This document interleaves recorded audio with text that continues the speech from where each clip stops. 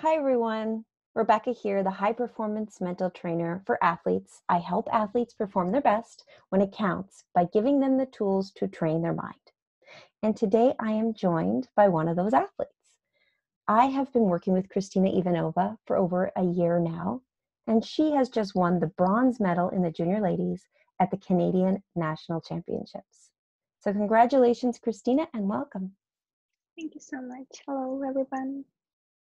And although she has had a successful year, it has not been all easy. She's had to overcome some struggles and mental blocks by learning mindset strategies and tools. And I know there are many other athletes out there that are experiencing the same challenges. And that is why I wanted her to share her journey with us in hopes that it will inspire you to make changes in your own training. So, first, I'd like to ask how did it feel performing your best on the biggest stage in Canada? Um, it was the first time I was performing on such a big stage, so it definitely was a new and interesting experience for me. Uh, and I enjoyed it so much. And I'm so happy that I was able to show what we, with all our team, with of coaches who are working for this whole season.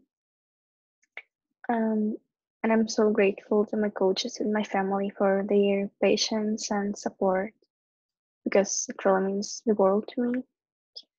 Um, but there are always things to work on, so we'll just keep working on them because I think that this competition gave me a lot of confidence and motivation to get better. Okay. And could you share some of those challenges that you have faced in the last year? Um, this year was such a roller coaster for me. Um, and the biggest struggle for me was being afraid to do a mistake or not to do something uh, perfectly. And it was apparent not only in skating, but just in life. And it mostly affected my jumps because I couldn't rotate them and I popped them. And the real struggle started last December. Then I missed Canadians by two spots. Um, so I wasn't able to rotate my jumps because for me it was only like doing it perfect or not doing it at all. Um, and I knew that it was not right, but I just couldn't do anything with myself. So I really started thinking about switching to ice dance or quit skating. Um, yeah, and I just couldn't enjoy it anymore because it just seemed like a wasting of time for me. Mm-hmm. Yeah. And I think a lot of um, athletes come to that point where they it's just not working for them and they're focusing on the being perfect and that's not working and they come to a point where they have to decide is this what I should be doing or not and so that was definitely a big crossroads for you so how did you overcome those challenges to get to where you are now? Because you obviously kept skating. Yeah so here again i'm just really thankful to my coaches and my family who just made me come to practices every day. Um, and we just kept trying to find a way to get through this.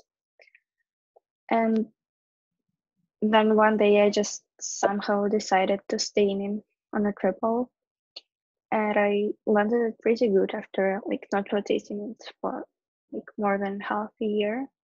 So it gave me a little confidence, and then every day after that, I just started to make myself do a little more, a little more, and then in some time, like step by step, I got all my triples back and during that time, my mindset completely changed. So I started thinking a way more positively.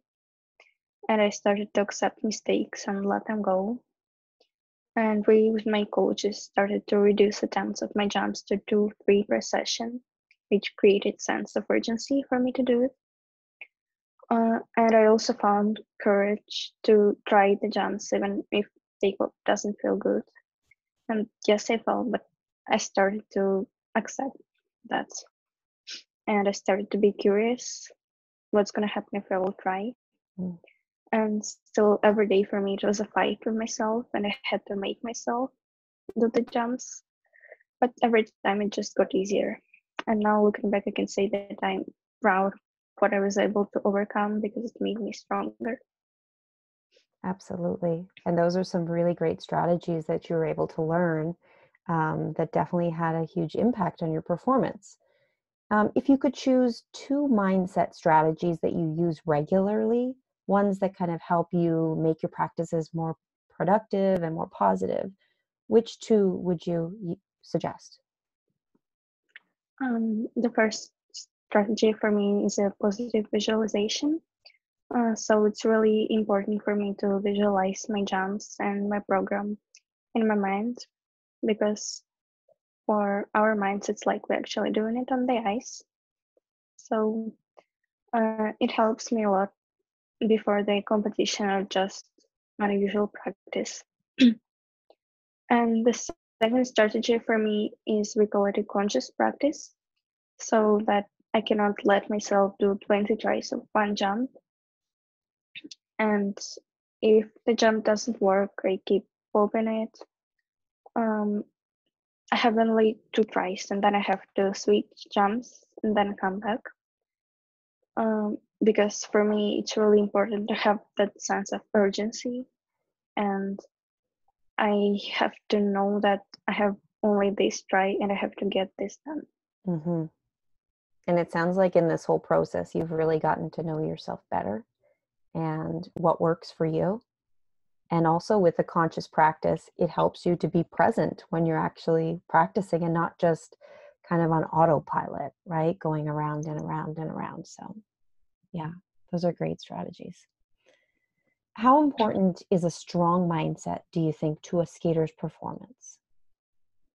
Uh, for sure, it's really important to have a strong mindset because you can be physically ready 100%, but if you will be worrying or you won't be confident enough, um, all your hard work just won't matter. And it's frustrating, but I think that it's true because I think an athlete has to have a strong mindset to be able to get his job done in any conditions and however he feels. And he has to focus on only his performance and on the billions of jumps that he has in practices.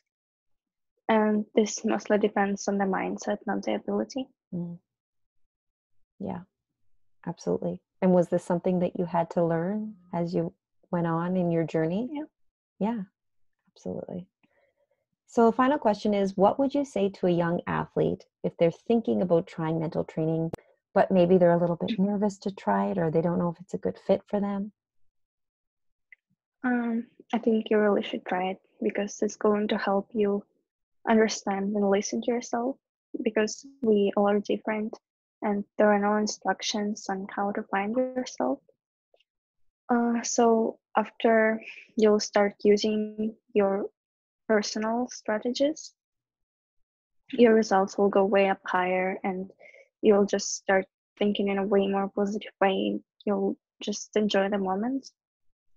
And after I started started taking mental training, I thought that maybe that's something I want to do one day is to help young athletes to overcome those difficulties.